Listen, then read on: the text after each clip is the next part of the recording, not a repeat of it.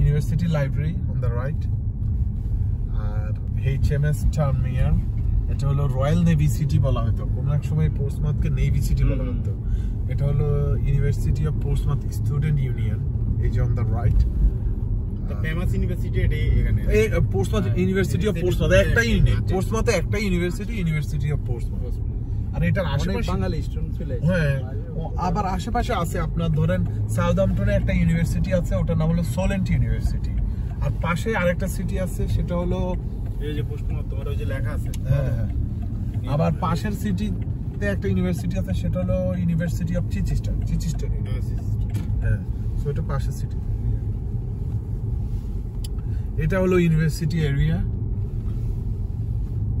এখন এই যে বাইরে বাইরের ইউনিভার্সিটিতে স্টুডেন্ট প্রচুর আসে। প্রচুর আছে মানে পোস্টমতে বাঙালি অন পোস্টমার্ক বলতে সব জায়গায় সব জায়গায়। হ্যাঁ হ্যাঁ যে গ্লাসগো ডান্ডিতে আমার কাজিন চলে আসছে ওয়াইফ সহ দুইজন। হুম হুম। এখন টিউশন ফি যা- ইয়া পাইছে স্কলারশিপ পাইছে 50% এর মতো ডান্ডিতে। আচ্ছা বাট মানে স্পেশালি যারা গ্রাজুয়েশন করা তাদের জন্য মাস্টার্সে আসাটা ইজি তো ইউনাইটেড কিংডমে অনেক easy not only United Kingdom মানুষ আসলে মেইন গ্যাপটা বুঝে না। পিপল মানে আমাদের দেশে মানুষ রিসার্চ করে না।